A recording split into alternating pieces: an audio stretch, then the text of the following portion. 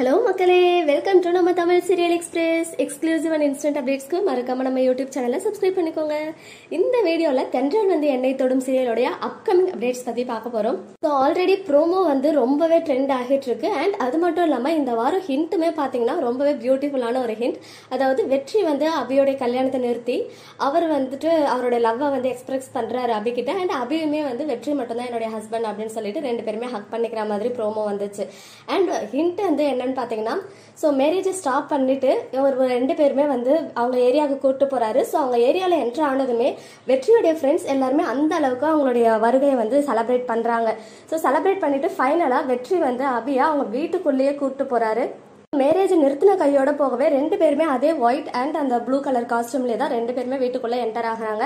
அங்கே இருந்து எடுக்கப்பட்ட சில எக்ஸ்க்ளூசிவான பிக்சர் நம்மளுக்கு கிடைச்சிருக்கு. ஸோ அதை தான் வந்துட்டு இங்கே ஷேர் பண்ணியிருக்கேன். அவங்க ரெண்டு பேரையும் வாசல்லே நிற்க வச்சிருக்காங்க.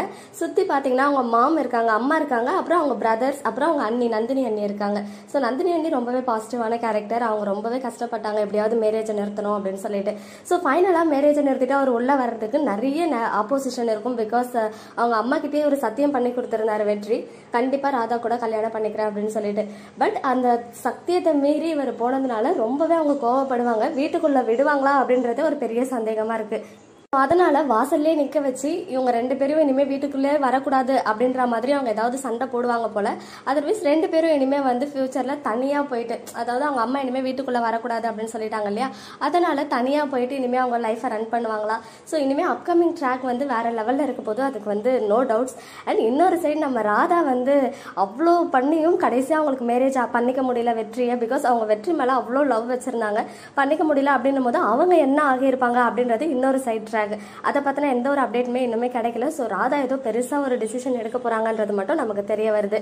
அண்ட் இது வந்து தென்றல் வந்து என்னை தொடமுடிய அப்கமிங் அப்டேட்ஸ் இது இல்லாமல் நம்ம அபி அண்ட் ராதா இவங்க ரெண்டு பேருமே பர்வதமலை வந்து அன்பிளான்டு ட்ரெக்கிங் போயிருக்காங்க. ஸோ ரொம்பவே ஆன் ஸ்க்ரீனில் இனிமையாக இருந்தாலும் ஆஃப் ஸ்க்ரீனில் ரொம்பவே ஹாப்பியான க்ளோஸ் ஃப்ரெண்டாக இருக்காங்க. ஸோ ஜாலியாக ட்ரெக்கிங் பண்ணிவிட்டு அவங்க எடுத்த சில பிக்சர்ஸ் அண்ட் வீடியோஸ்லாம் வந்துட்டு அவங்க சோஷியல் மீடியாவில் ஷேர் பண்ணியிருந்தாங்க. ஸோ அது எல்லாத்தையுமே வந்துட்டு இங்கே அப்லோட் பண்ணியிருக்கேன்.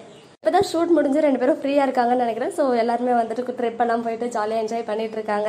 சென்ட்ரல் வந்து என்னை தொடும் பத்திர அப்கமிங் அப்டேட்ஸ் பற்றி தெரிஞ்சுக்க மறக்காம நம்ம யூடியூப் சேனலை சப்ஸ்கிரைப் பண்ணிக்கோங்க. நெக்ஸ்ட் வீடியோவில் மீட் பண்ணுறேன் பாய்